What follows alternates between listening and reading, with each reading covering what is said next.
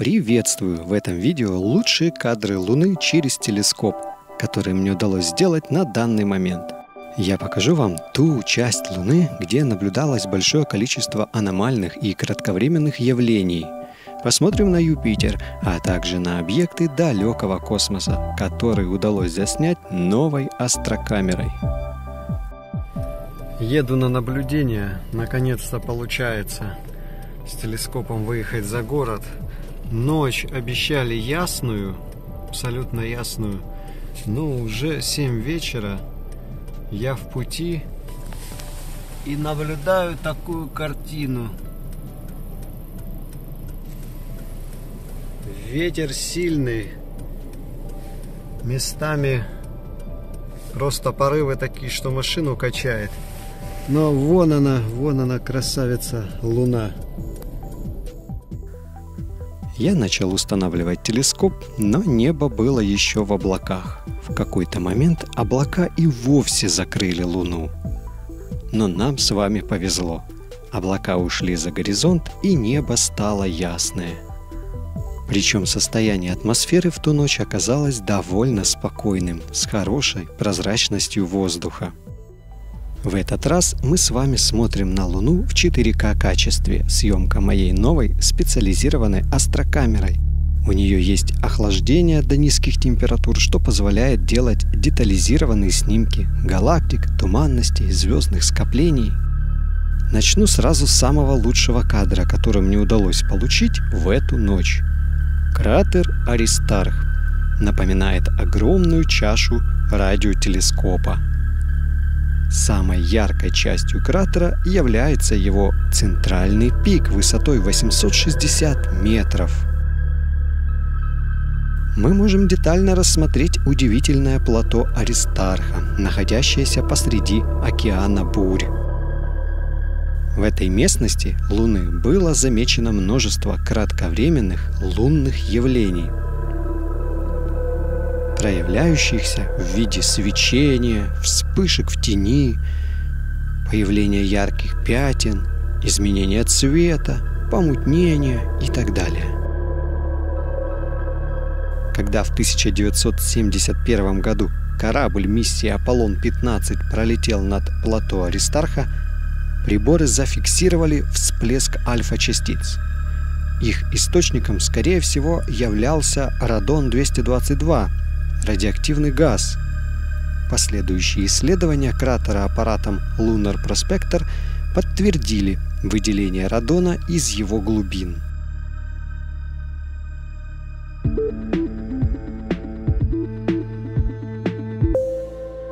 Традиционно прогуляемся вдоль лунного терминатора. Сделаем остановки на интересных местах лунной поверхности, а также продемонстрирую вам цветную луну. Напомню, что видео в 4К, так что не забудьте развернуть видео при просмотре на весь экран и проверьте выбранное качество в плеере при просмотре. Очень часто YouTube занижает качество воспроизведения. Также в моих видео можете увидеть параметры камер при съемке – я часто указываю эти данные, они могут помочь тем, кто недавно приобрел астрокамеру и изучает принципы астрофото, пытается подобрать параметры для лучшего качества снимка. Но, конечно, в разных условиях съемки и через разные телескопы эти параметры могут отличаться. Луна в эту ночь была в стадии роста к полнолунию – Одиннадцатый лунный день. Расстояние от Земли до Луны в эту ночь составило 373 тысячи километров. О цвете лунной поверхности. Отдельная обширная тема для обсуждения. Я вкратце напомню, что поверхность Луны, наподобие поверхности Марса, устилает слой пыли, который изглаживает, частично скрывает различия по цвету разных участков. Но все же, те цветовые различия, которые мы видим, усиливая цвета после съемки и усредняя множество снимков, говорят о лунной геологии, об отличии в составе тех или иных участков Луны.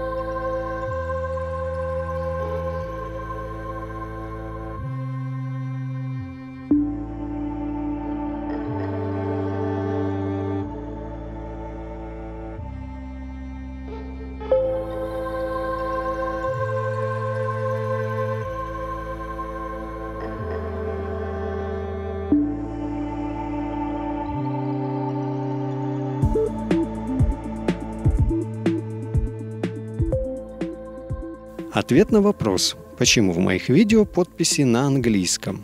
Потому что мои видео смотрят из разных стран мира. Я думаю, что если у вас на клавиатуре есть русские буквы, то есть и английские. А вот у людей, живущих на других континентах и в других странах, не всегда и чаще всего нет русской раскладки на клавиатуре рядом с их родным языком. Соответственно, если я даю подпись кратера на английском языке, то информацию о нем могут найти в интернете все. И те, кто говорит на русском языке, и те, кто говорит на других языках. Кроме того, напомню, что намного больше информации об объектах космоса вы найдете, если будете искать не только на своем родном языке, но и на других языках.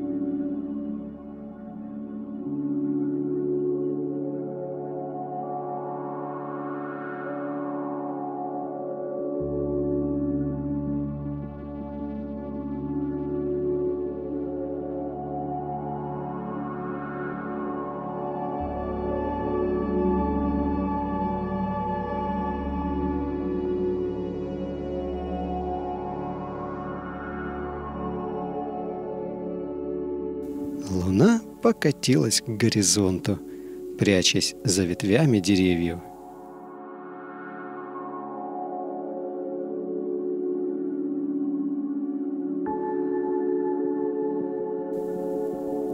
Я остановил часовой механизм телескопа и включил съемку, просто направив телескоп вверх. Наша Земля реально быстро крутится. Если у телескопа нет моторов или они выключены, то в окуляре телескопа видно, как уплывают в сторону звезды, Луна, планеты. Чем больше увеличение и чем меньше участок неба мы видим, тем, соответственно, быстрее смещение объектов в поле зрения. Кстати, когда я подобное ради теста заснял зимой через стекло окна, просто тестируя новую камеру, то звезды у меня обзавелись крыльями. Это к вопросу о том, что не стоит снимать через стекла окон и наблюдать также. Лучше выносить телескоп на открытую местность или как минимум на балкон. Даже если вы все-таки решитесь на съемку через стекла, даже съемкой фотоаппаратом, ждите сюрпризов в виде бликов и необычных искажений снимаемых объектов. Учитывая то, что была высокая влажность и легкий мороз, вся аппаратура покрылась за ночь слоем льда. Чтобы избавиться от запотевания и намерзания воды на объективе телескопа, в данном случае корректор, я пользуюсь обычным феном, но будьте предельно осторожны с такого рода работами. И также предостерегаю желание начинать протирать объектив телескопа тряпочкой. Не стоит этого делать. Категорически нельзя в таких полевых условиях. В предрассветное время над горизонтом поднялись планеты Юпитер и Сатурн. Конечно, весной 2021 года они еще были на небольшой высоте – над горизонтом. И особого смысла их снимать не было, так как если планеты низко над горизонтом, атмосфера вносит сильные искажения в изображение. Но я все же решил заснять Юпитер в масштабе со спутниками, чтобы вам показать один момент. То, о чем часто спрашивают. Почему рядом с Луной или съемками планет нет звезд? Разная экспозиция – большая разница в яркости разных объектов. Так и с Юпитером. Если делаем съемку планеты со спутниками, спутники видны, а Юпитер получается пересвеченным белым пятном. Если подобрать чувствительность камеры так, чтобы на Юпитере были видны полоски облаков, спутники чаще всего не видны на снимке, или их яркость надо поднимать отдельно. Можно, конечно, сделать подобные коллажи, сделав съемку Юпитера со спутниками и отдельно планету, а потом сколлажировать. У меня на канале вы можете посмотреть съемки планет, когда они были хорошо видны в хорошую погоду. Кстати говоря, крупные яркие планеты можно наблюдать в телескоп даже на закате или на рассвете, когда небо уже настолько светлая, что звезды не видны. И, конечно, с новой камерой я уже успел попробовать съемки объектов далекого космоса. Но пока у меня хватило времени лишь на тестовые пробы. Так как подобные снимки не получишь за пару минут или за час. Нужно накопление света, многие часы и суммирование снимков, точнейшая настройка и установка телескопа – Летом и осенью непременно продолжу подобные съемки. Ну, а что я делаю, когда наступает рассвет? Потихоньку собираюсь, но если есть возможность все, так сказать, барахло не убирать, то заказал на Алиэкспрессе вот такой классный брезент, чехол. Он водонепроницаемый. И если вдруг ты накрыл и утром пойдет дождь или роса или еще что-то, там пыль, песок полетит, то в принципе телескоп можно ставить под чехлом, у кого свой двор или балкон.